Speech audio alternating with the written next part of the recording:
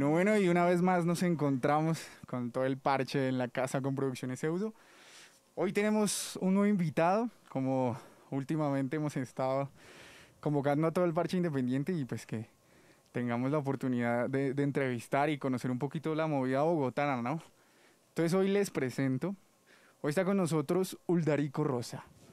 Uldarico Rosa es una agrupación bogotana en la que convergen las experiencias de tres músicos cuyos caminos vienen encontrándose una y otra vez. Desde hace más de 10 años, esta gente viene encontrándose. Con Sebastián Segovia en la batería, hoy en la percusión, David Castro en el bajo y los coros, y Camilo Esteban López en la guitarra y en la voz líder. La agrupación proyecta un cóctel de sonidos que van desde el blues hasta el estilo pop de los años 90, pasando por los senderos obligados del soul, el funk, el jazz y el rock and roll, sin negarse el privilegio de acercarse a los aires locales de la cumbia colombiana. Qué chimba eso, ¿no? a lo largo de la última década, los músicos de Uldarico Rosa se han encontrado en diferentes proyectos como Vía Férrea, La López Band o Pecata Minuta Project. Estos encuentros han forjado además de proyecto... eh, perdón. Estos encuentros han forjado, además de gratos recuerdos en las tarimas y en los ensayos, una amistad que cobra vida en el escenario. Así que con nosotros, con ustedes, Uldarico Rosa, démosle un aplauso, un aplauso fuerte, por favor. Muchachos, bienvenidos. Corriendo un poquito, pero bueno, empezamos a darle la entrevista. ¿Cómo están? Bien, Trefi, ¿cómo vas? ¿Todo bien? Bien, estamos, estamos melos. aquí ya corriendo con todo lo que implica como estas vainas de la entrevista, pero ya estamos aquí con ustedes. La logramos por fin. Sí, muchachos, a destiempo fue el tema que escuchamos apenas entró como el live para poderle compartir a toda la gente. En estos momentos quienes ya hayan ingresado, porfa denle compartir para que mucha gente escuche a Uldarico Rosa. Cuéntenos, ¿quiénes son ustedes? Aquí yo leo una reseña, pero creo que se cuenta más desde, desde ustedes. ¿Quiénes son ustedes? ¿Qué hacen? ¿Cómo les fue en el fin de semana? Y cuéntenos por qué a destiempo. Bueno, nosotros somos Suldarico Rosa, que es una banda, como tú dijiste, pues de varios encuentros, de varias cosas. Eh, antiguamente David y Sebastián tocaron en, en Vía Férrea y empezaron ellos, ellos dos. Yo tenía otro proyecto donde ya después ellos fueron a acompañarme, que era la López Band. Y ya desde ahí nos hemos encontrado en varios, en varios sucesos, en varios proyectos y hemos seguido pues el, el camino musical y creciendo juntos, como es este proceso. Eh, somos músicos ya de, pues, de bastante tiempo, de vieja data. Y lo que hemos tratado de hacer acá es, pues nosotros somos muy, muy aficionados a los sonidos clásicos de los 80s y de los 70s y lo que hemos tratado de hacer acá es como poder unir todos esos aires en los que no se trata pues tanto del virtuosismo o de o de esas destrezas musicales, sino más bien de, de sonar bien con arreglos minimalistas. Eh, pues como de estar muy en pro de la musicalidad y de que todo suene muy, muy hermoso, es lo que me parece a mí que tratamos de hacer. ¿Qué opina usted, Ivy? Sí, bueno, eh, gracias por la invitación. Qué chévere estar acá esta tarde de lunes tocando, haciendo música, que es lo que más nos gusta hacer. Eh, sí, desde hace años nos conocemos, hemos venido trabajando y digamos que parece que fuera siempre el mismo proyecto, pero con diferentes nombres. Vamos cambiando y, y vamos dándole. Aquí con el maestro Sebastián Segovia, pues hemos trabajado también desde hace más de 10 años eh, dándole al blues y explorando de todo lo que vamos encontrando en el camino. Y pues con Camilo siempre regresamos, volvemos a tocar, dejamos de vernos un tiempo, regresamos y arrancamos con nuevos proyectos. Y pues este es el proyecto más maduro en el que hemos, con, eh, hemos- pues, nos, nos hemos podido reunir. Entonces, bueno, estamos muy contentos por eso. O sea, parece un matrimonio. Sí, una relación eh, es, es difícil. Sí, Sí. es complicado, diría. Bueno, pero, pero están dándole, creo que es lo, lo importante en este momento. Bueno, ya que estamos un poquito más cómodos, un poquito de aire aquí circulando. Pues muchachos, bienvenidos, qué chévere que estén aquí en la casa con Producciones Pseudo. En estos momentos vamos a compartir de nuevo la imagen en la que estamos ambos, para que ustedes vean las redes sociales de ellos. Va a estar a su derecha en la pantalla. A mi izquierda, ahí están las redes sociales de ellos, Uldarico Rosa Music, para que los etiqueten o compartan esta entrevista. También están las de Producciones Pseudo. Y andémosle, muchachos, ¿cuál es la historia de ustedes tres? Ya aquí sabemos un poquito que se han encontrado en otros proyectos, pero ¿cómo hacen para que para que Sebastián, para que Camilo, ¿cierto? Y para que David se encuentren un día y decidan hacer música, más allá de solamente verse en otros proyectos. ¿Cómo la logran ahí? Eh, bueno, eh, gracias por la invitación. Buenas tardes a todos los que nos están viendo. Eh, pues para todos creo que tenemos en común que hay un antes y un después a partir de la pandemia, ¿no? Entonces pasó lo de la pandemia, estuvimos en cuarentena.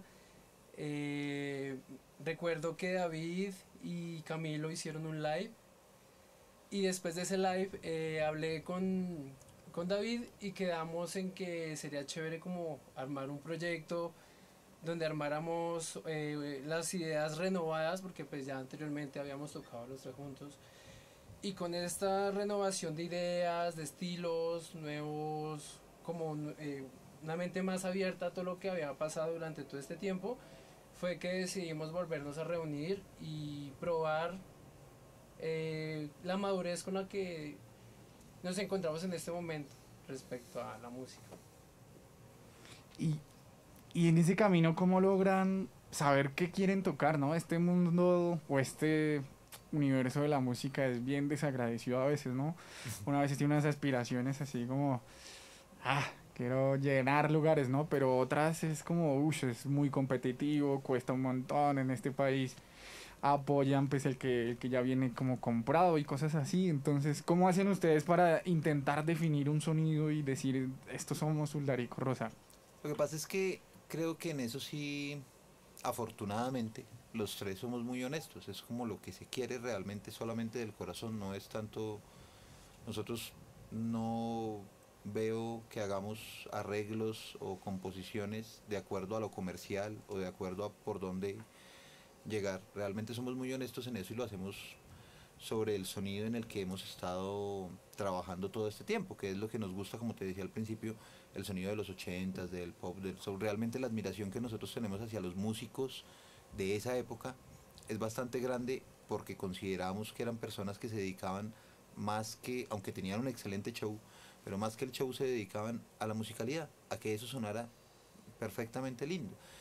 Eh, hablábamos hace poco que ahora hay un montón de artistas supremamente fitness, todos son bonitos, pero lo que se está trabajando es lo de acá afuera. Los otros manejaban una cosa interior bastante, era un alma en esa música bastante espectacular, entonces creo que somos muy honestos en ese camino, realmente nosotros no componemos, como te digo, hacia lo comercial, sino hacia lo que nos gusta sonar. Entonces no fue realmente difícil definir cuál era nuestro, nuestra intención o, la, o, el sonido que queríamos encontrar. Lo teníamos muy claro de todo lo que habíamos trabajado en los antiguos proyectos. Y ya encontrarnos acá lo que te decimos es solamente como un, una madurez de todo ese camino, que también pues además facilita, listo, lo que queremos es sonar así. Sí, ya teníamos mucho, mucho trabajo respecto. Pero siempre hemos sido muy honestos con el corazón realmente. Bueno, y, y en ese camino de, pues digamos, también es una decisión ser honesto, ¿no? Porque pues en este mundo también nos enseñan que si tú decides no ser honesto, pues no importa y hasta le va bien a la gente, ¿no? Pero, ¿cómo decide, por ejemplo, David que, que va a estar en un proyecto donde las ínfulas prácticamente van a estar en base como al rock, ¿no? ¿Cómo la logra David? ¿Cómo resuelve? O sea, ¿en qué momento se toca con el rock y dice quiero hacer algo sobre esto? Y así mismo como lo hace Sebastián y como lo hace Camilo. Uldarico. Uldarico. Bueno, eh, eso sería como decir cómo empecé a escuchar música básicamente porque creo Bueno. que todos eh, empezamos con el rock. O bueno, hemos escuchado muchas cosas, pero el rock empezamos queriendo ser rockeros y queriendo tener una banda de rock. Por esos lados. Bueno, Camilo de pronto quiso tener otro tipo de proyectos también. Pero, pero empezamos por ese camino y creo que lo que nos ha mantenido juntos, que es algo que está relacionado con eso, es que nos gustan eh, nos gusta música similar. Podemos compartir música, no con cualquier músico de los que uno conoce puede compartir música. Y cuando se puede compartir música, cuando se puede estar hasta la madrugada hablando sobre música, enviándose enlaces, enviándose canciones, es porque ahí hay algo, ahí hay algo importante. El rock fue un momento de mi vida, yo diría, eh, pero creo que toda persona que pasa por el rock no lo puede abandonar nunca, siempre está ya su semillita. Y han venido ya otras cosas encima, ¿no? El soul, el blues, que ha sido para mí, más que el rock, creo que el blues ha sido Es que en cambio yo, yo no empecé mi, por rock. mi, mi camino. Sí, por eso decía que el paréntesis era Camilo, él, él tiene otro camino, sí. Sí, me da- pues, estaba pensando eso. Yo no, yo nunca empecé por rock. Yo empecé por. Yo no he llegado a esa parte del rock que quiero. Todavía no la estoy buscando. Porque mm, yo empecé haciendo son cubano y salsa y empecé explorando meterle a esos ritmos latinos sonidos de blues, de soul, de otras cosas. Y fue como mezclar esa latinidad. Pero realmente al rock rock pues nunca he llegado. Nunca he llegado. Solamente que ya después tomó más forma esos otros sonidos, el soul y el blues. Y a eso le añadí la parte latina. ¿Cómo llegaste tú a eso? Uy, no. Eh, bueno, yo creo que también por eso tenemos años en común con David, ¿no? Porque David me conoció siendo rockero, tener cabello largo. Y eh, cuando David me conoció, a mí me gustaba mucho el metal. y, y estaba como en esa transición de explorar, ¿no? Pues yo soy baterista, estaba cansado también como de los sonidos estridentes, quería algo más musical, un lenguaje más rico. Entonces con David, cuando nos conocimos, hubo como esa posibilidad de participar en un proyecto donde pudiera enriquecerme de esa manera. Y después fui explorando el jazz, o sea, conocí el jazz y eso fue como un antes y un después para mí. Y jazz. Y Jazz. Jazz. Y después el funk, ¿no? El funk. Oh, el funk, es- cambió la vida también. Uy, es que eso el funk es otra... Oiga, qué chimba. Muchachos, y en ese camino, bueno, ya creo que la experiencia los dice, los lleva a forjar, ¿no? Como, como a, a poner al fuego, pues lo que quieren, ¿no? Su vida, la música que llevan dentro, lo que han escuchado en la vida, lo que culturalmente también pues les apasiona o lo que quieren, ¿no? O, es- o esa búsqueda, ¿no? Del, del, del sueño. En, en- y, en, y en eso, como ustedes nombran de la honestidad, pues a qué le cantan. Ve- Vea que ahí hace poco hablábamos, ¿se acuerda que le? ¿Cómo hace, ¿Cómo hace uno para ser honesto en las letras? Es muy curioso porque las mujeres le preguntan a uno, todo- uno no puede tener una letra de un imaginario porque se ponen molestas. ¿Sí? Entonces pensábamos que cómo hace, por ejemplo, un man como Sabina para ser tan honesto y cantar una canción en la que dice, de sobra sabes que eres la primera, pero cualquier día te engañaría con cualquiera, todos los días. Las letras nosotros le cantamos por lo general, pues sí, a situaciones muy románticas y somos muy, muy románticos. Realmente nuestras letras no son de fiesta o, Oh, muy poco. o muy poco. ¿Sí? o Una fiesta más bien tranquilita. O sea, es un cafecito. Una fiesta para llorar, sí. o sea, hay, es para un cafecito. Sí. O hay Sí, para un, no sé, un buen, una buena charla, un buen café, un buen trago, un buen lo que sea, pero pues muy calmado el asunto realmente. No somos muy arriba de, de rumba y se canta más que todo, pues creo que la, el, el tema principal es el amor, ya sea desamor, ya sea un amor feliz, pero pues el amor. Y creo que, pues eso es un- una motivación muy enorme, ¿no? Pero es el amor al, al, al que quiero vivirlo bien o, o a esa gente que le canta el amor porque ya se está cortando las venas. ¿Hay, ¿hay diferencia o no? No, hay de todo, ¿cierto? Hay de todo. Lo que pasa es que, eh, pues también son historias a veces que uno conoce de otras personas. Eh, sí, son solamente, como que la motivación es simplemente esas ese tipo de relación interpersonal que existe. Sí, Epa. que lo llamamos amor. Pero la motivación es, es por ese camino, pero pues no siempre es exactamente mm, mi experiencia. Por ejemplo, Destiempo es una experiencia ajena y, y pues simplemente se, se toma esa experiencia y se, se pone en la canción. Pero hay de todo, hay momentos felices también, hay canciones muy enamoradas eh, donde habla de la belleza de, de ella, donde habla de lo chévere que es estar con ella, como hay tenemos una canción donde hablamos de lo inclemente que es ella y lo, lo tenaz que fue ella. Eh, también hay otras en las que ya pues el despecho es absoluto y, y total. Y entonces en ese en esa se reparten las cuchillitas para que No, qué chimba. Me hace acordar de algo y es que hay un, hay un podcaster que dice como que el amor es el odio, pero con menos información.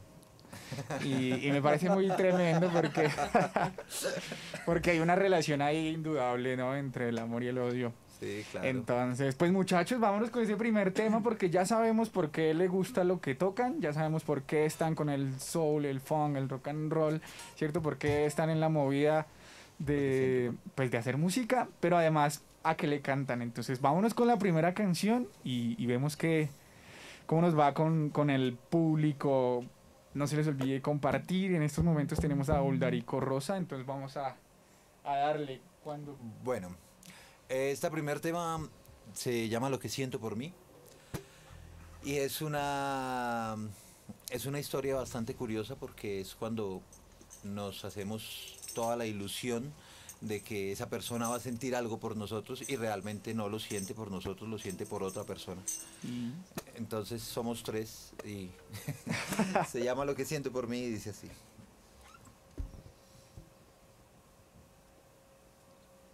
Un, dos, tres, va.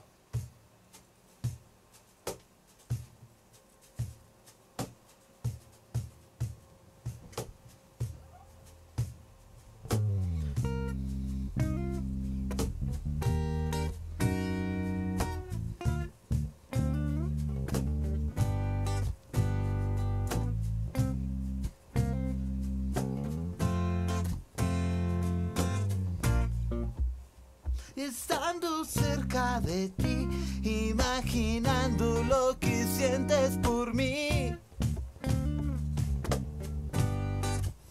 Tomo las fuerzas al fin para decirte lo que siento por ti.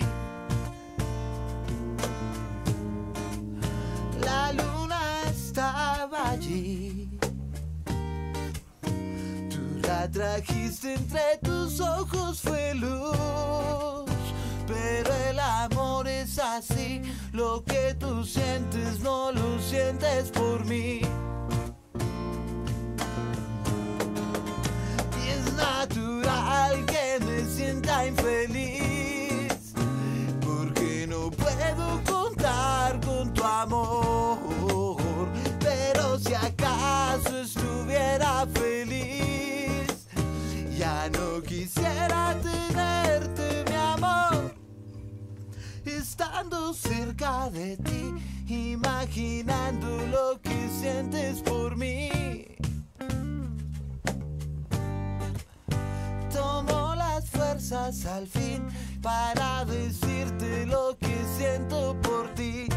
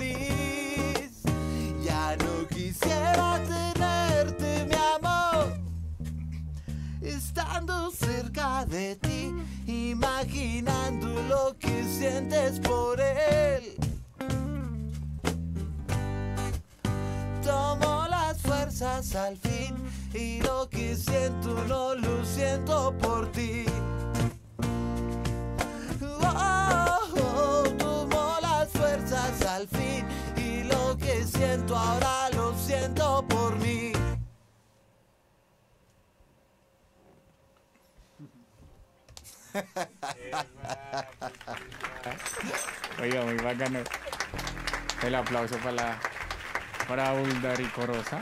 Qué chimba. Que a uno. ¿Y en qué momento siguen? bacano, bacano porque. Porque a veces esas cosas no se dan, ¿no? No se dan en vivo y uno como que se acabó la canción, chan, chan, ¿no? Es para que den ganas de más, para que den ganas Sí, de más, para que queden otra. pidiendo. Para que queden diciendo. "Otra, otra". Muchachos, ¿cómo se llama esa canción?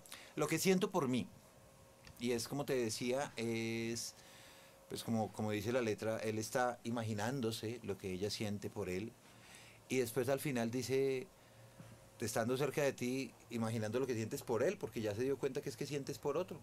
Entonces al final por eso él dice, entonces ya no lo siento por ti, ahora lo siento por mí.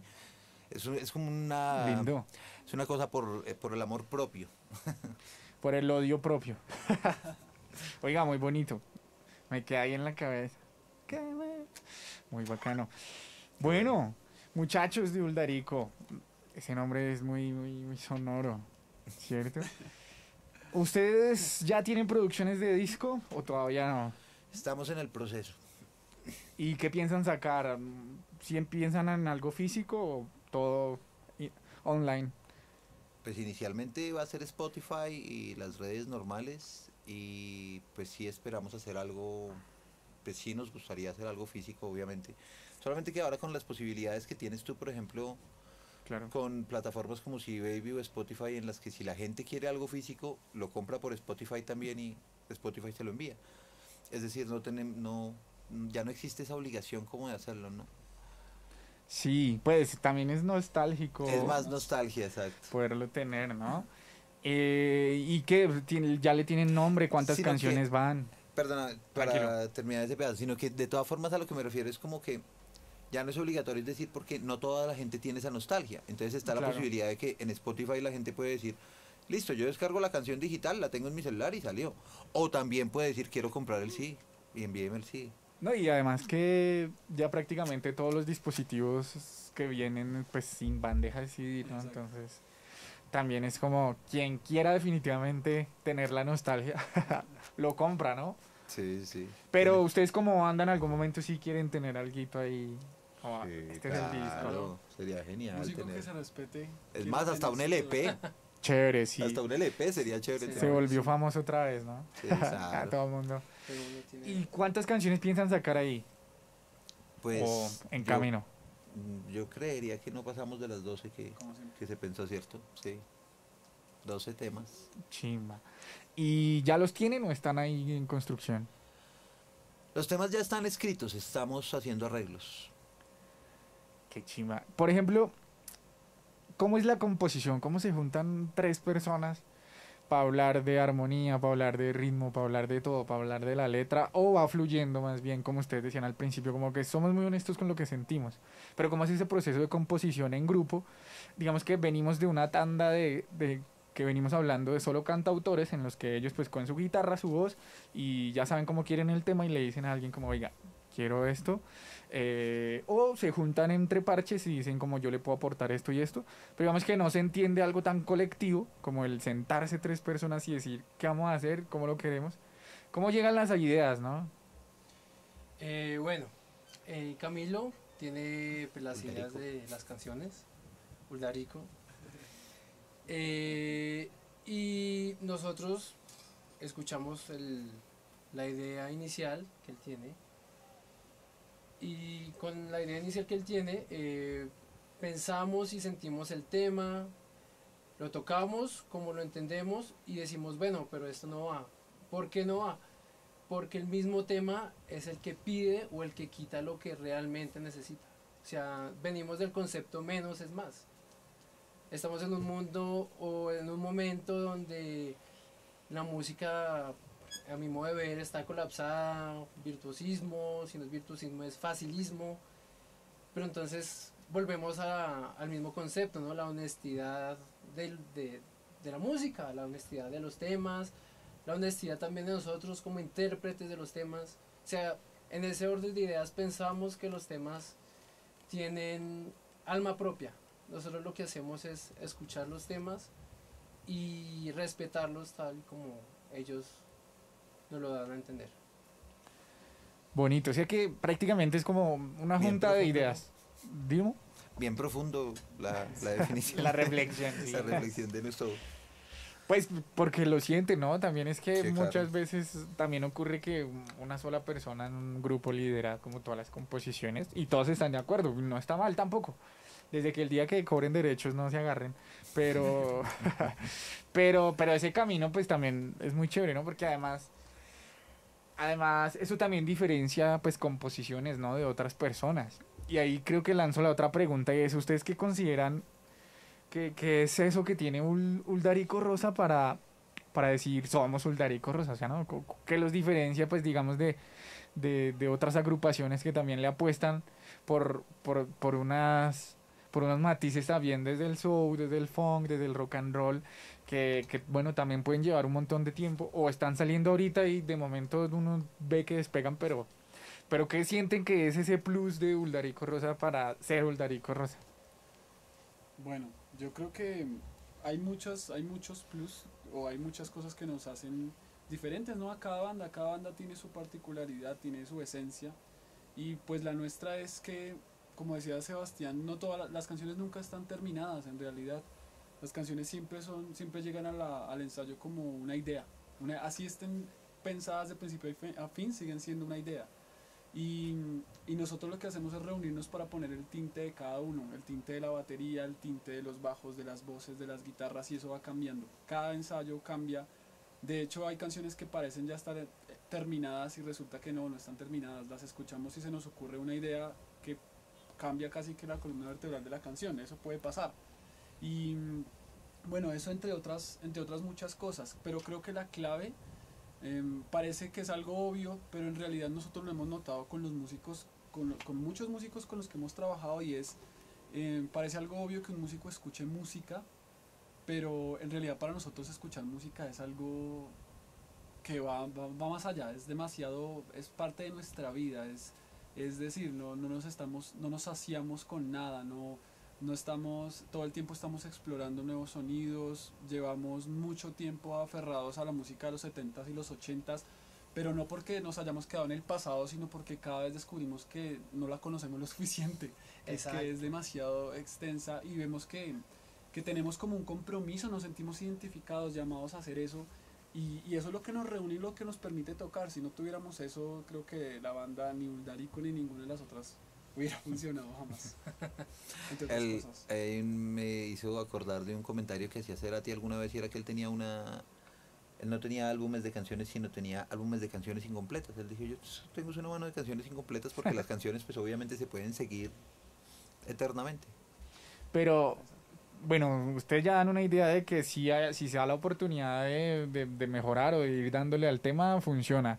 Pero digamos, esa apuesta de decir, oiga, ya este tema está tan cascado que dejémoslo andar. Porque hay bandas que, uff, 10 versiones de la misma canción y ya eso termina también agotador para mucha gente. Hasta para el mismo músico debe ser desgastante porque Sí. ya se vuelve infinita la canción. Entonces toque una sola canción de por vida. ¿Cómo es ahí? Pues, eh, pero ahí eh, Depeche Mode hizo un álbum doble de solo versiones de Personal Jesus. Imagínese eso. Pero no, nosotros realmente pues es muy, ahí sí entramos mucho a lo que dice Sebastián, me parece, y es que la misma canción te, te la da. Ya el resto es más una cosa que llamaríamos egoísta o personal, en el hecho de que uno dice, uy, pero es que yo quisiera meterle aquí un coro de negras como el que quiere mi amigo, por ejemplo, que siempre ha querido tener un coro de o un coro de o perdón vientos o pianos o ya es cuestión me hago entender más más personal Concepto. que sí exacto concepto pero la canción sola te dice cuándo empieza y cuándo acaba y ya aquí no hay que meterle nada más de la última vez que hicimos algo así que hicimos una pequeña grabación se mostró el resultado y no venga solamente cámbiale esto y ya después uno la escucha y dice no hay que meterle nada Era más eso. no le hace falta ni porque pienso que a esa última que hicimos no le hace falta ni un saxofón, ni un piano, No, ni no. absolutamente nada. Entonces es como que la canción misma te lo dice. Hay canciones donde sí se ve el espacio que uno dice, no, es que eso sin ese saxofón que uno se imagina no va a ser nunca la canción. Claro. Entonces, hasta que uno no le meta ese saxo, pues no se puede. Pero, pero sí, siento que es más, más la canción la que te lo dice. No, y que además ocurre que puede uno darle y darle a un tema, pero digamos que también hay que dejarlos respirar en su momento, ¿no? Digamos, a mí me ha pasado eh, cuando intento escribir o da la oportunidad de escribir o me está atravesando lo que quiero escribir, eh, pues digo yo, las canciones a veces pasa que se mueren en un poema o los poemas a veces se mueren en las canciones, ¿no? Porque ya digo como definitivamente no sirvió de canción y termina siendo un poema o al revés. Sí, hay canciones que no, que no van a salir nunca. Yo llevo como 15 años componiendo un reggae y tengo la primera estrofa. ¿no? Y, y, y- eso iba a decir, o sea, hay unos géneros que nos fluyen más que otros, o unos estilos musicales más bien, unas, unas armonías, ¿no? Por, ya sea por nuestra voz, por, no sé, hay gente que lo llama como por nuestra vibra con el universo, yo no sé, eso no- en eso no me meto, pero, pero sí, sí hay cosas que definitivamente no fluyen, o sea, Sí, no. o sea, como que le da uno, le da y le da y le da y no, el cuerpo no le da, no le da para tanto. Y ahí voy a una pregunta y es, ¿ustedes se dedican completamente a la música? No, No. no. Y si no fuera la música la que los salva de la vida, ¿ustedes qué estarían haciendo? Mm, Bueno, yo soy, además de esto, soy actor y, y compongo para cine y para televisión. Pero pues cuando no estoy haciendo esto, es- estoy allá actuando o estoy componiendo. por ahora, en, afortunadamente, estoy solamente en ese campo artístico. ¿Y los demás? Eh, yo de profesión soy profesor, soy profesor de lenguaje, de lengua castellana y de escritura. Y si no fuera la música, eh, sería la literatura. Uy. Aquí Eh, también hay otro inscribiendo. Ah. Yo, yo soy arquitecto, pero no ejercí. Eh, me dediqué a la música muchos años. Llegué, llegó la pandemia y ahorita estoy con mi hermano, estamos emprendiendo un negocio propio. Y además de eso, soy dibujante. Me encanta el dibujo y creo que además de la música me dedico a dibujar, a dibujar y negocio. O sea que uy, está ahí como la vaina. Está el, está quien puede brindar el concepto artístico, está quien lo puede vender por redes y está quien puede montar las carátulas y las animaciones. bacano, Sí, ahí bacano. Están los talentos, se unen. Sí, y además pues que musicalmente se entienden y eso es muy complicado muchas veces. Que sí, eso yo pienso que, y tengo una frase hace muchos años, y es que la música es como el sexo. Porque todo el mundo sabe tener sexo. No tiene mayor eh, teoría, ¿no? Eh, Allá hágalo bien. No, el asunto es que haya química. Me hago entender porque usted puede saberlo hacer y la chica puede saberlo hacer, pero si no hay química no pasa nada.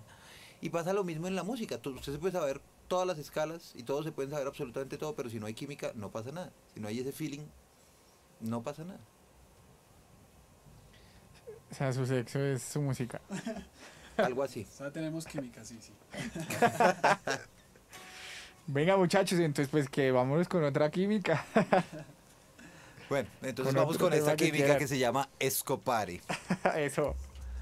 Escopare, por favor, busquen en el, en el traductor para que entiendan. Va. Escopare. Un, dos, tres, va.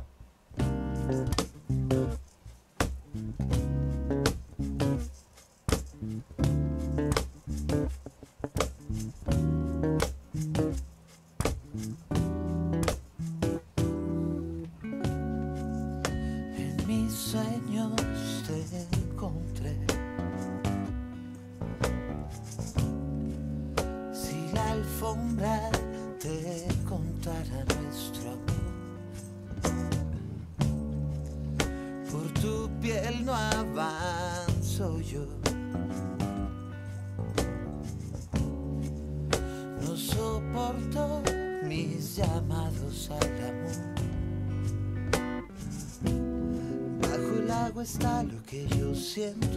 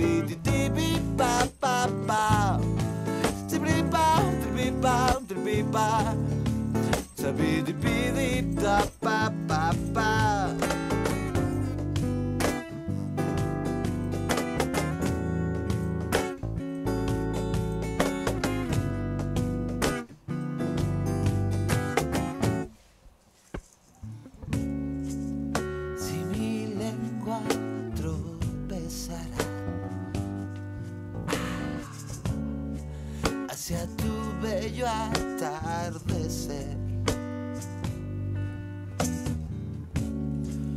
Me perdería entre los rayos del sol del mediodía. Yo solo quiero que vuelvas a ser parte de mí. Bajo el agua está lo que yo siento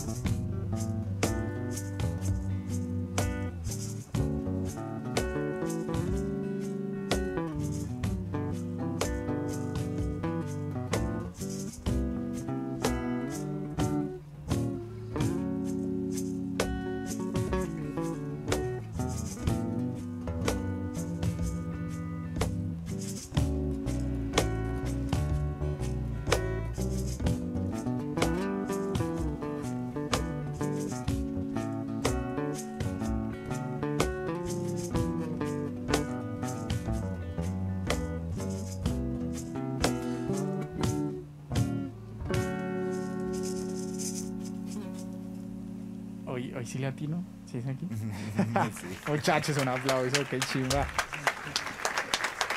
Ay, qué bonito escucharlos. Oiga, suena muy bacano, suena de verdad. Me anima, me anima mucho.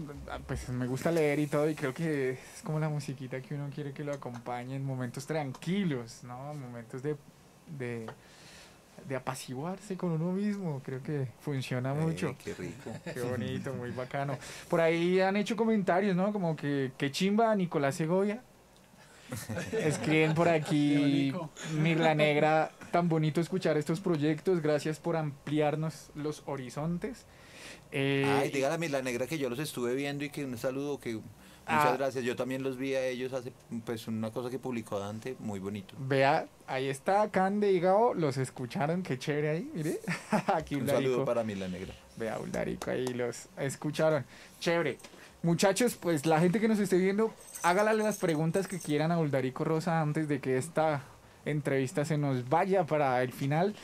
eh, porque viene un momento chévere que me gusta mucho y yo lo llamo el paredón, que le hago preguntas a quien sea y así de corchadoras. Entonces, eh, vámonos con, con David. Eh, una película. Sí, esas, pele- esas corchadoras que lo dejan a uno. Uy. El grillito. Como siempre, sí, se bloquea la cabeza, solo dígale a uno. Uy, esta sección no me gusta. Sí. Una película. Es la favorita de Trefi. Cualquiera de las películas de cualquiera de los tres colores de Kieslowski. Uy, Uy, lindo. lindo. Vámonos pues con Uldarico, eh, con Camilo. Ahí estoy confundido, quiero que me expliquen eso ahorita. Esperen. Eh, una canción. No, pero si no, es una película, una canción, imagínense. bueno, eh, una canción. Dear Mr. Man de Prince, Uy, del Musicology. Lindo. Me parece que. Bueno, lo que pasa es que la he estado escuchando mucho últimamente y tiene mucho que ver con la situación actual realmente. Entonces, me parece. Tremendo. Para Sebastián, un lugar. Uy, un lugar. eh, el Pacífico. El pa- pero qué parte, desde el Chocó hasta el Tumaco. o- Buenaventura. Uy, ush, lindo. Eh, me devuelvo entonces de nuevo con el Darico Camilo. Eh, ¿Bar o la calle? No, bar. ¿Bar? Realmente yo prefiero mi casa. bueno, Realmente yo prefiero mi casa. Si es cuestión de tomarse un trago y de pasarla rico, prefiero en mi casa que pues con amigos que uno pueda tocar y que uno pueda eh, como compartir y, y departir tranquilamente. y en temas de conciertos. La calle ya hace pues se vivió mucho, mucho, mucho, mucho, mucho en exceso. Entonces ya no. ya la calle- Bueno, bueno. Pero en, motivo de conciertos, pues si es para tocar, uy no, la calle. Chévere. Si es para tocar, sí, la calle. David, ¿cuál otra ahí es bacana? Eh, un libro. un libro, Bueno, de Milán. eh, La inmortalidad de Milán Kundera. Puede ser. Uy. Ese es el mismo de La insoportable de Sí. del ser, ¿no? El mismo, sí. Eh, mm, voy para entonces a Sebastián. Eh, una serie. Uy, yo casi no veo series. Y... Me pido la palabra. Entonces una no, entonces una novela. Yo no veo televisión. Ay, bueno, entonces un libro. Bueno, a mí me inspiró mucho El niño de la historieta. Chimba. Entonces una serie para Uldarico Camilo. Breaking Bad. Uy, serias. Es que después, hermano, de que... Y he visto muchas series. A mí me gusta mucho...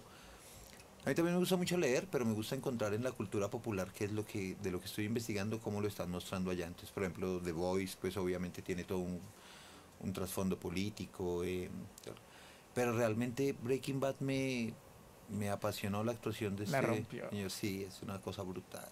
Sí. Pero, ¿qué tal la versión colombiana? No, no me dañe así el momento. ¿Por qué, Trefi? No, pero, pero es que hay que hablar. No, di- no dijo que la investigación popular. No, realmente, realmente lo que pasa es que no, no hay punto de comparación, ¿no? Yo, yo las vi las dos, pero no hay punto de comparación. Es una cosa monstruosa realmente eh, la actuación de este señor en, en la versión original. Y no, no hay punto de comparación. No, muy tremendo. No, y es una serie que. Y creo que la rompió en muchos escenarios. Uf, no, no, es que no tiene... Yo de hecho no la terminé y duré como ocho meses con nostalgia de que el man... De todo lo que le pasaba al man, fue una vaina impresionante. Bueno, para los tres, ¿changa, changua o ajiaco? Uy, pero... Chagua. Pues sí, a mí también me gusta mucho la changua, pero es que la ajiaco también me gusta mucho. Ajiaco, yo voy con Ajiaco. Changua. Changua. changua, sí, Team changua. changua. Listo. Tinto o chocolate. Chocolate. Chocolate, chocolate. No, tinto. Listo. Eh, ¿Una biblioteca o un parque? Una biblioteca. Una biblioteca con forma de parque. Un parque. Y lindo, lindo. Vea que yo hago estas preguntas porque es que muchas veces así de, de- del- de lo inhóspito también resultan recomendaciones muy bacanas, muy chéveres. Eh, pero eso también muchas veces dice un poco de lo que somos, ¿no? Claro. Entonces, pues hay veces que ahí llegan y dicen como eh, el alquimista, cosas así. Entonces uno ya sabe como que de dónde viene. Pero no es molestando, ¿no? Cada quien puede leer lo que le guste, lo que le inspire y el Jorge Duque Linares que quiera. Pero ent- mentiras. Pero nada, muy bacano porque efectivamente pues lo que uno escucha, lo que uno lee, lo que uno ve, lo que uno siente, pues es lo que lo, lo convierte a uno, lo que lo hace ser y lo que lo pone a andar en la vida, muchas veces también lo que lo inspira. Entonces, pues también ocurre mucho. Y la última, y es cualquiera de los tres, un poema. ¿Dónde mira? Un poema. eh, bueno, uno clásico, La canción de la vida profunda, de Porfirio Barba Jacob, que mucha gente lo conoce. Por fin. Que Por narra, favor. narra, pues, nos muestra la vida en un poema. Por favor, Porfirio. Ah, bueno, y la última para el Darico, ahora sí. Una obra de teatro.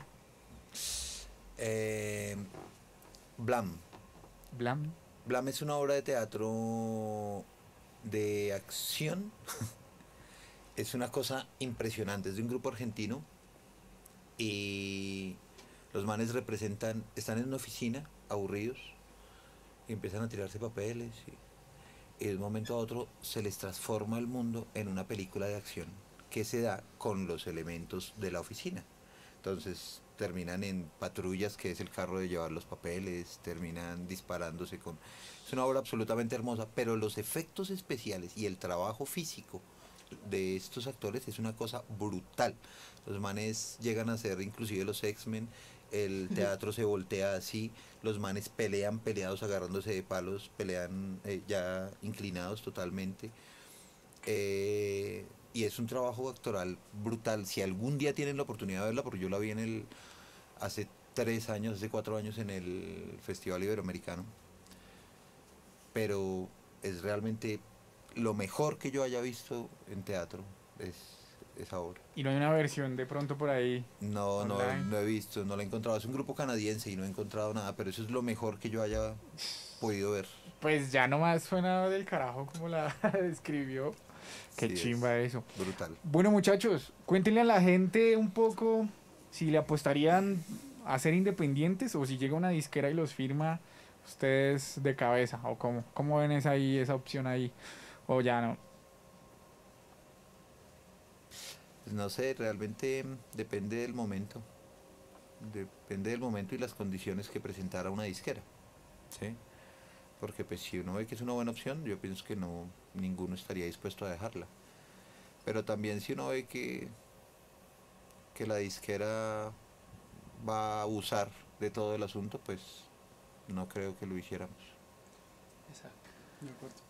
Y por la apuesta de lo independiente, o ustedes cómo hacen con el asunto, digamos, de la producción y, y sacar a mover la música. Por ese lado es donde le estamos apostando, por el lado independiente. Nosotros tenemos también nuestro mini estudio y nuestra manera de, de grabar, entonces pues vamos a empezar por ese lado. No, qué chimba. La autogestión es un muy buen camino porque considero que pues cualquiera puede, ¿no? Y también este principio que hace mucho tiempo nos, nos enseñaron los, los primeros, pum, ¿no? Y hágalo usted Mm. mismo. Y creo que pues funciona resto. Entonces, chimba y cuando tengan algo, nada, díganos y aquí nos volvemos a ver. A ver qué, qué, qué nos encontramos de ustedes nuevo. Claro que sí. En este camino de la música, pues, ¿ustedes cómo ven a Bogotá en esta pseudo post pandemia? ¿Ya se vacunaron?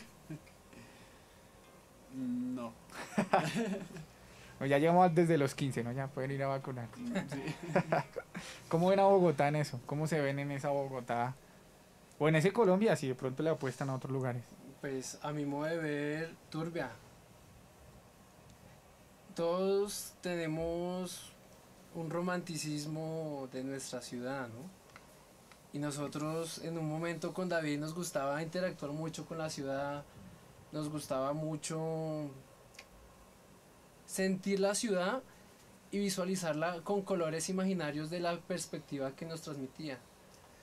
Pero hoy día Bogotá ha perdido mucho la identidad. Me parece que la apuesta, ya hablando de música, la apuesta musical también ha perdido esa identidad que nos identifique. Nosotros hemos escuchado mucha música y cada región tiene una identidad musical. Digamos que Bogotá ha permeado mucho la influencia exterior, el rock, el jazz, pero no hay una identidad profunda que identifique a Bogotá como la capital en cuanto a música. Entonces, ese es un buen concepto que me parece que podríamos desarrollar. O sea, diríamos como, como dicen por ahí, el rock rolo. El O- rock, roll. El rock. Sí, de que eh, hay varias bandas que le apuestan a eso, ¿no? Pues terminan como encallizan- encas- encasillándose con esto del rock en español o del rock eh, alterlatino, ¿no? Le llaman a eso.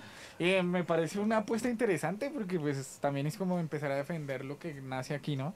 Exacto. Pero ush, siento que después de la pandemia va a seguir complicada el asunto, ¿no? Creo que quienes conquistan escenarios en estos momentos, ya sea por Hip Parque, Rock al Parque o lo que sea, pues son afortunados en términos de que, de que no, no, no, se, no desfallecieron en la pandemia, ¿no? Porque yo creo que muchísima banda que vivía de la chisga, que vivía de, de la calle, que vivía hasta el mismo Transmilenio, pues baila, ya no están, ¿no? Y de hecho hace un poco había un estudio que decía de las 16 bandas que pasan a Rock al Parque, con el tiempo continúan solamente 6.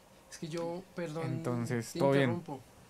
Yo pienso que hay que apostarle a la escena independiente, porque como tú dices, la, la- lo que, los que son chisgueros, los músicos, las agrupaciones, eh, se volvieron dependientes de organizaciones dependientes. Entonces por eso hay que volver más fuerte lo que es la escena independiente, para que seamos dependientes de nosotros mismos, de los que estamos saliendo, de los que llevamos mucho tiempo, pero que queremos hacer algo totalmente distinto. No del carajo. Y cuenten con producciones pseudo en lo que necesiten, si necesitan vainas de producción musical. Gracias a Producciones Pseudo. Sí, sí, si necesitan vainas de producción musical, grabar vainas, chévere. Nosotros aquí pues hemos sacado un par de discos independientes con el concepto pues, de la gente. Y también es una apuesta de que descentralicemos la música, ¿no? Yo, digamos que hace un momento me acuerdo mucho de lo que dice Sebastián y es que, pues, que él tocaba metal, mechu y todo, ¿no? Y que llega un momento en el que ya como que dice, tanta bulla, pues, no tanto, ¿no? Y y dije, pero es que todos los escenarios están siempre, ya sea por el centro chapinero, centro chapinero, ¿no? Y dije, no, hay que descentralizar la vaina y empecé por una apuesta y con una terraza cultural aquí también en Bosa y pues se venían los vecinos, traían dulces, traían para hacer las once para los músicos y demás. Eh, venía gente de otros países, entonces pues esta cosa era, era chévere, interesante, llegó la pandemia y arruinó la terraza porque ya no nos podemos encontrar. Y si nos encontramos, toca con un montón de precauciones. Entonces, pues ya no. Y nos, nos pasamos, dijimos, bueno, vámonos para el estudio y, y montemos el- en la casa con producciones pseudo. Como ustedes ven, pues estamos en una casa, estamos en la porra, ¿ustedes se dieron cuenta? y, y esa apuesta sigue, digamos, como muy vigente, lo de descentralizar la música o descentralizar el arte. Centralicemos todo. Sí, ojalá pudiéramos, pero mientras en lo que tengamos en las manos vamos a intentarlo y pues por eso digamos que está esta apuesta de compartir lo que ustedes hacen con la gente, eh, pero también con una intención y es que definitivamente lo que dice Sebastián, o sea, este parche independiente si no se apoya, si no se comparte, si no se vive, pues creo que nos vamos para el estanco. Entonces de ahí para allá, digamos que empiezo yo como a comprometer la conversación y es que pues esta entrevista está saliendo en vivo por Facebook Live, mañana sale por YouTube, mañana sale por Instagram y mañana sale por Spotify Podcast, ¿cierto? Ahí se puede compartir. Pero además, con Uldarico, que hemos estado charlando, vamos a agregarlo a un grupo donde en este grupo se está haciendo el line-up de un festival, que seguramente va a ser algo así como en la calle con producciones, bueno, no sé. Eh, algo le vamos a poner, estamos en esa gestión pero con ese ánimo de que todo el parche independiente que llegue a las entrevistas, pues tengamos la oportunidad también de conocernos en vivo, que esa Qué también es una chévere. pelea fuerte. Entonces, pues inmediatamente ya entran al grupo, ya después con la gestión que se haga y con lo demás, pues veremos quiénes están confirmados y quiénes no. Pero hay raperos, cantautores, hay bandas. eh, y pues seguramente va a ser descentralizado. Entonces va a ser en la periferia de Bogotá, va a ser donde no llega la cultura, donde no llega el dinero para la cultura o donde se lo roban. Entonces llegamos con nuestros equipos, llegamos con nuestra apuesta y seguimos insistiéndole. Sí, al asunto. Buena Eh, idea. Eh, y pues aparte de eso, eh, ahí va para los tres. La idea es que ustedes inviten a dos personas a esta entrevista. O a dos artistas, dos músicos, ¿cierto? Eh, a esta entrevista. Entonces ustedes ya después dirán como, vean, tengo estos contactos, chévere que pueda caer allá la entrevista. Porque seguramente conocen más músicos o más proyectos.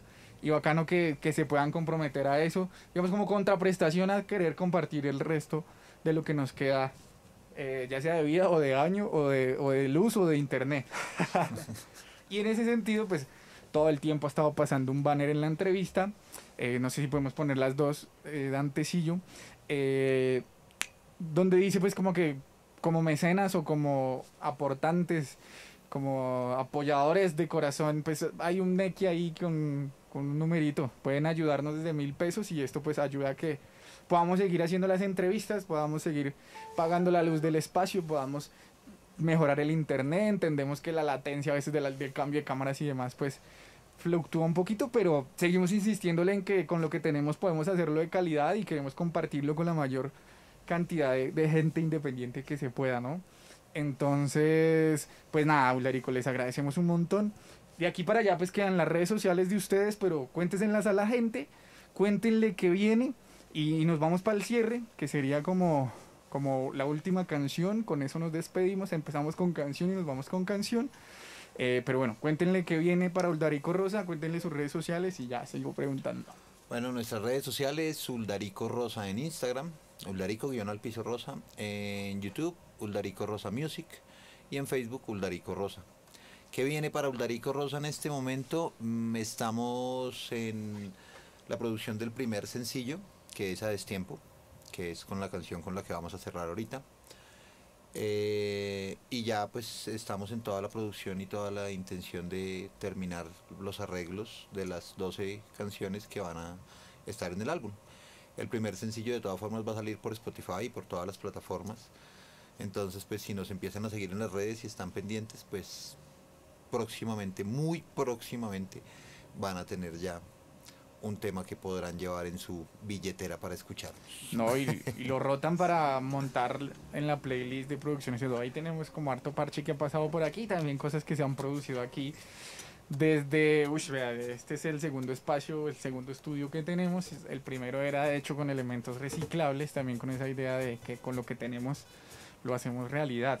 Muchachos, eh, nada, de nuevo agradecerles enormemente. Les recuerdo que en Negativa, si a ustedes les interesa, en el sótano de Dante hay un ensayadero con todos los equipos buenos para sentirse en vivo, ¿no? Es Severos equipos, severo ensayadero. Epa, chévere, que ya conocen, ¿no? Sí, sí, sí, ya conozco. Vea, entonces la gente que le interese en Negativa están ahí en el espacio, en el sótano de Dante. Por aquí lo saludo, que está también detrás de cámaras y todo el rollo. Súper recomendado el espacio. Entonces, pues nada, quien quiera caer, chévere, porque también es una movida ahí muy autogestionada, muy desde lo independiente y que le apuesta a compartir también desde otros lugares. Por ahí hay noticias más adelante, pero vamos a darle. Y, y la última es, compartan esto, por favor, si pueden donarnos, nos ayudarían un montón. Ahí por equidad de plata. Sigan, por favor, a Uldarico Rosa en las redes sociales que dijeron, y si no, igual en las publicaciones que hagamos los vamos a etiquetar. Pueden ir a Spotify a colocar numeral en la casa y ahí salen todas las entrevistas que ya, que ya hicimos con, pues, con toda esta gente. Eh, y bueno, por último, muchachos, agradecerles enormemente. No sé si quieran decir algo. Si no, nos vamos con la canción. Y nada, esto fue en Producciones Pseudo eh, con Uldarico Rosa, ¿cierto? En la casa con Producciones Pseudo con Uldarico Rosa. Eh, yo soy Trefi. eh, también pueden buscarme por ahí, faranduleo resto con mi proyecto musical. Y nada, seguimos por ahí. Ahí quedan los micrófonos para ustedes. Que pueden decir lo que quieran. Bueno, pues primero que todo, muchísimas gracias, Trefi, muchísimas gracias a, a Pseudo Producciones por tenernos aquí. Muy, muy, muy emocionados y realmente estuvo muy chévere la entrevista. Muchas gracias por el espacio. Y claro, pues también cuenta con nosotros para todo lo que se necesite. Nosotros también estamos en la autogestión, en el movimiento, en la movida. Lo que necesites de nosotros, pues estar ahí. Vamos con una canción, vamos a cerrar con el que va a ser nuestro primer sencillo, que es A Destiempo. De, al principio cuando empezamos la entrevista me preguntaste por qué a destiempo y no te contesté esa pregunta. Eh, a destiempo, a destiempo es un tema que se compone sobre una historia que escuché de una de un de un amigo y él habla es sobre lo arrepentido que está de, de haberle embarrado con la chica. Entonces realmente como que la parte más importante de acá es que él quisiera devolver el tiempo. Y, y él dice, hay una frase en la canción que es, soy capaz de transformarme en la promesa del pasado en esa noche que te perdí. Entonces ahora sí es capaz de transformarse, pero pues de todas formas ya, ya Pero- embarró, o sea, ya no, hermano, ya, Pero la promesa en la canción ya queda ahí en el tiempo. ya quedó ahí en el tiempo la promesa. Ahora vamos entonces con este tema. Y dice así.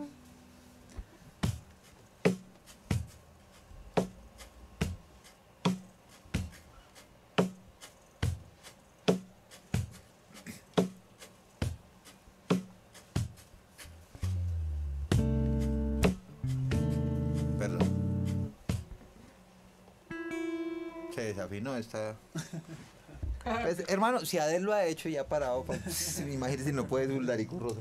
No, una chimba porque todas las entrevistas alguien se ha equivocado. Ya, son to- va- voy a poner aquí en la equivocación con producciones pseudo. Mentiras. No, pero chimba. de Sí, voy a- blo- bloopers de en, en la casa con producciones. Con producciones pseudo, sí. No, pues. Ajá, pues por qué. Menos mal estaba menos mal que lo estaba posteando para para Instagram y ahí quedó. Genial. Un momento, momento.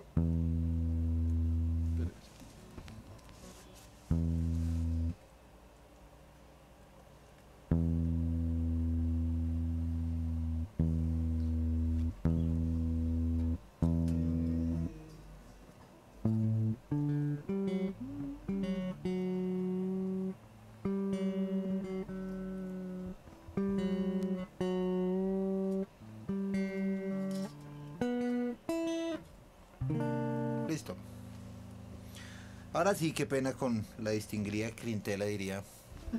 La gente, qué pena con el distinguido público. Pero vamos ahora sí con a destiempo. El bello público. Era el para bello que le sonara, era para que le sonara bonito.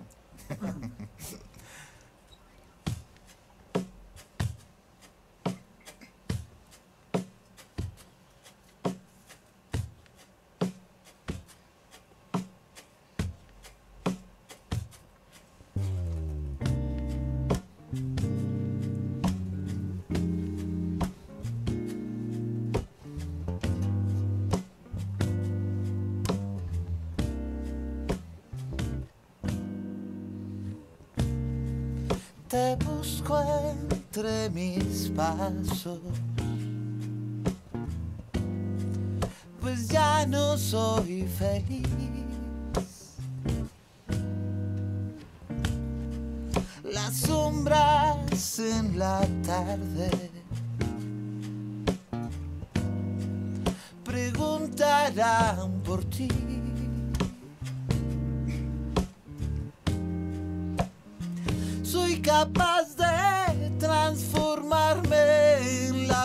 Promesa del pasado en esa noche que te perdí.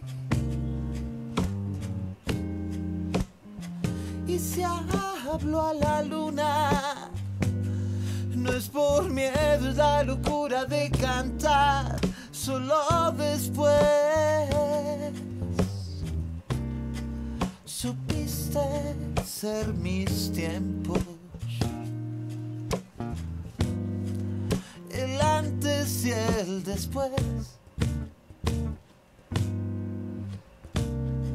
Y ahora que a destiempo resulta estar mi fe.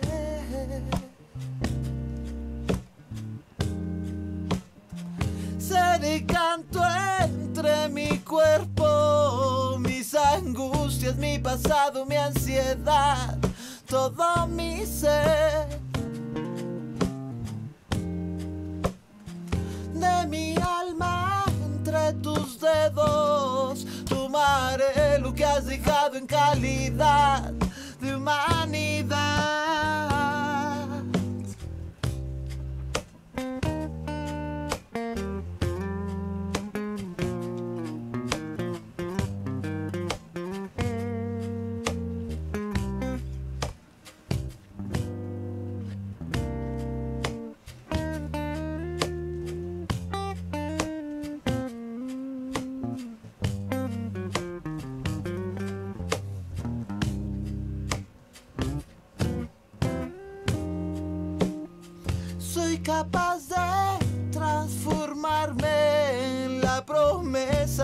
Pasado en esa noche que te perdí.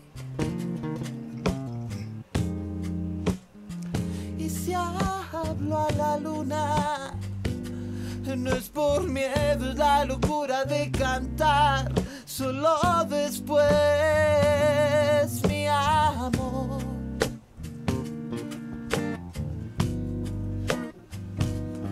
mi amor.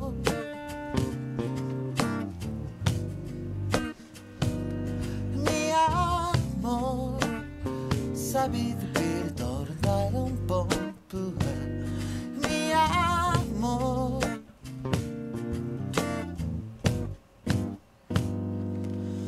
Mi amor.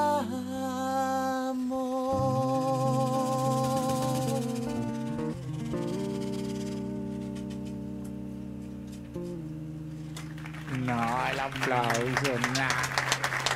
Qué.